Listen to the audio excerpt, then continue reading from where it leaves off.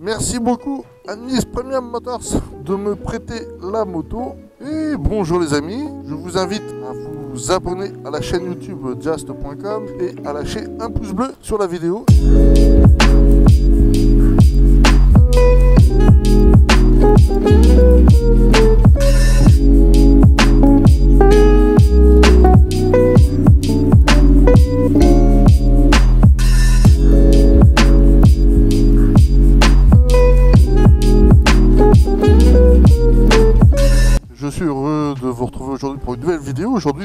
Le R1250 RT de chez BMW, la nouveauté 2021.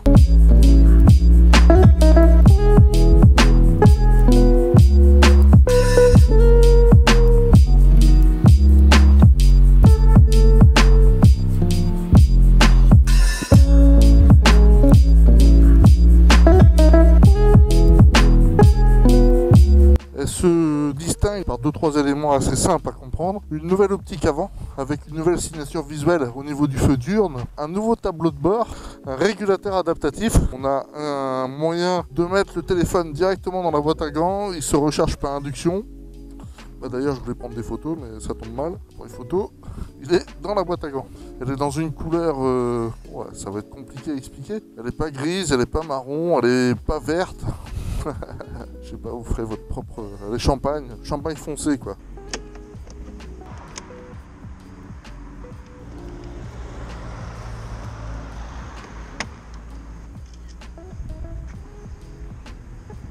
Dans la navigation, c'est assez simple à comprendre. hein. À droite, on va commencer à droite, on a différents boutons. On a le bouton de démarrage, coupure moteur. On a le verrouillage centralisé. Ça se permet de verrouiller les valises et le top case quand on est équipé d'un top case. On a les différents modes. On a le mode éco, le mode pluie, le mode route et le mode dynamique. Donc c'est une grande nouveauté le GPS, c'est-à-dire que quand on était euh, sur la GS 1250, sur la RS 1250, la R 1250, on se retrouvait avec notre nouveau tableau de bord, mais également avec le principe d'avoir le GPS déporté. Qui était un peu con parce qu'on a une fonction en fait à l'intérieur de ce nouveau tableau de bord qui permet en fait d'avoir un, un GPS reporté. Donc ça c'est plutôt cool.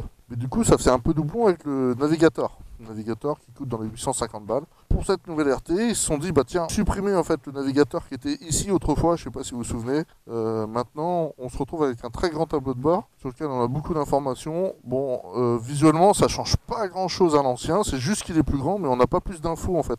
C'est juste plus étiré. On a bien la molette cette fois qui sert vraiment à quelque chose. Dans le mode navigation, on peut avoir le mode carte parce que ça nous permet d'avoir directement la carte sur le tableau de bord. Et pendant qu'on pilote, bah, du coup, ça permet de savoir, euh, quand il nous dit qu'il faut tourner à gauche, à droite, dans 80 mètres, et ben du coup, on peut visualiser avec la molette plus ou moins. Ah, voilà, c'est quand même plus simple.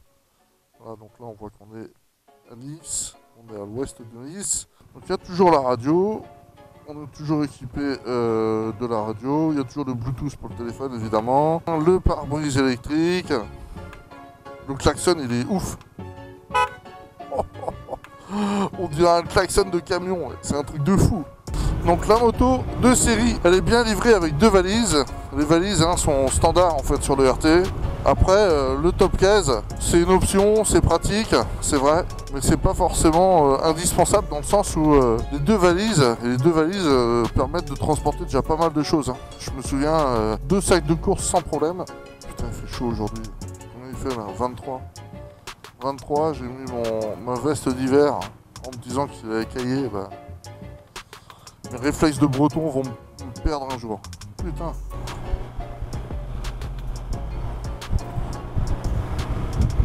Alors quand je baisse la fenêtre, quand je baisse la fenêtre, on se tape tout le vent dans le nez.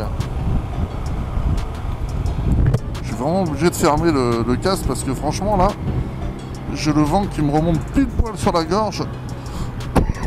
Ça me donne envie de tousser, je vais tomber malade.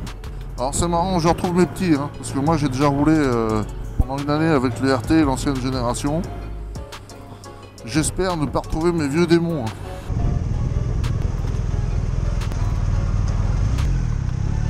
Alors quand je dis mes vieux démons,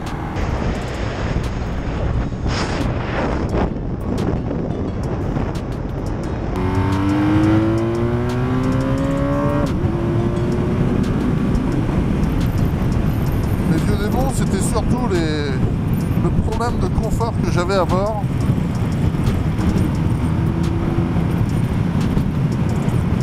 Oh, par contre, quel bonheur. Une fois sur l'angle, ça bouge plus. hein. On va monter la bulle. Ah oui, avec la bulle, c'est quand même plus agréable.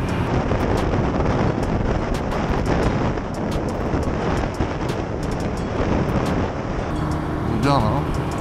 C'est pas mal. Là, on est vraiment euh, tout confort. hein.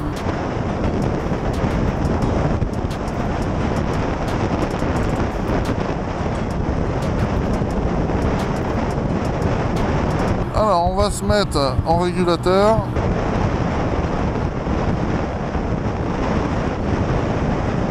Alors oui, je suis d'accord, c'est pas très drôle d'essayer une moto sur euh, l'autoroute. C'est vrai. On serait bien mieux sur les petites routes.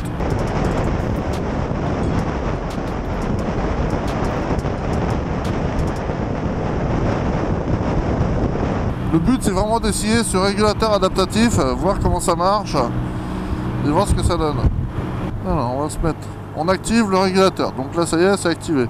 Maintenant, j'appuie sur le plus. Je vais me mettre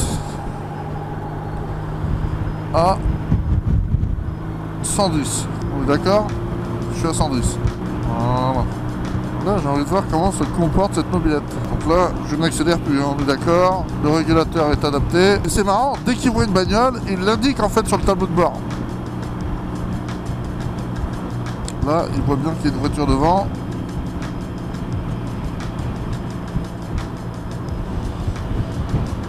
Et il me fait baisser la vitesse.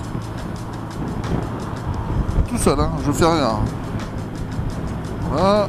Ah bah, euh, L'autre. Bim Il se rabat sur la droite.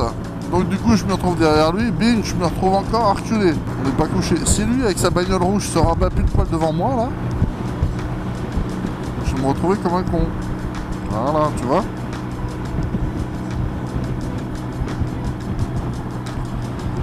Voilà, la moto freine. On est d'ailleurs différentes distances. Là on est la plus longue, on va mettre un peu plus court et très court. Donc là c'est plus court.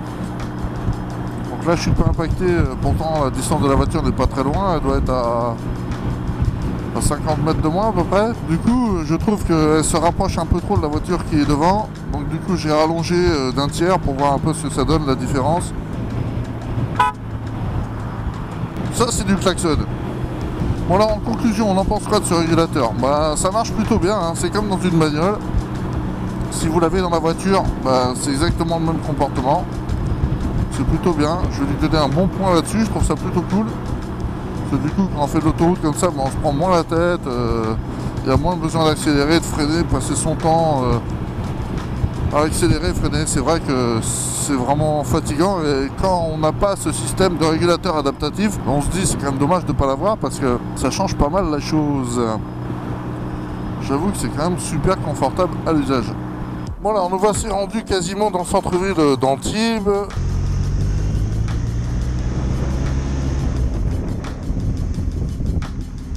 On va faire un petit tour en, bord de mer.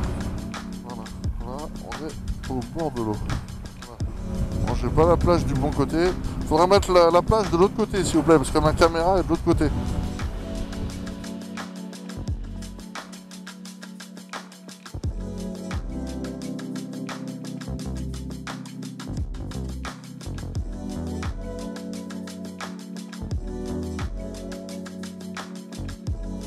Bon alors c'est embêtant hein, parce que ce RT pour moi ça reste le RT, c'est-à-dire que je retrouve mes vieux démons, ça fait pas longtemps que je roule, hein, ça fait quoi une demi-heure, Euh, j'ai déjà mal aux pattes. En fait on a les jambes qui sont euh, qui sont pliées sans être pliées. On a les genoux pile poil, pile poil cassés, tu vois ce que je veux dire?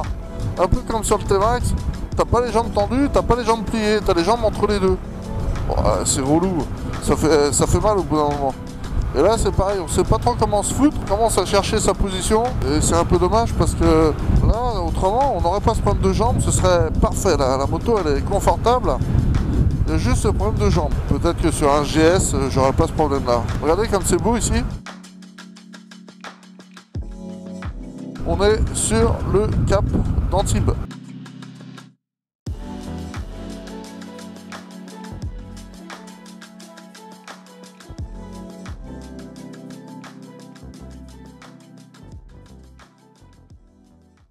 Donc là, tu vois, quand tu es en côte, comme ça, tu repasses sur point mort. Et là, tu vois, si je lâche le frein, la moto, elle recule.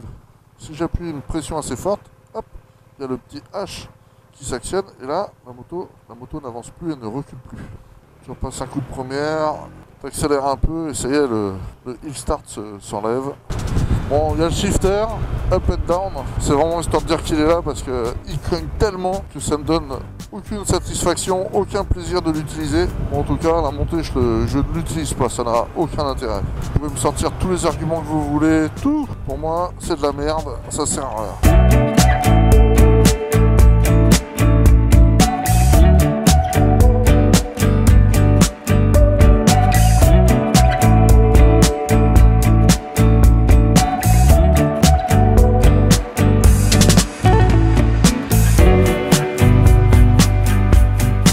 C'est marrant, mais avec un peu de recul, qu'on soit en BM ou en T-Max, au final c'est le même combat. Personne dit bonjour à personne.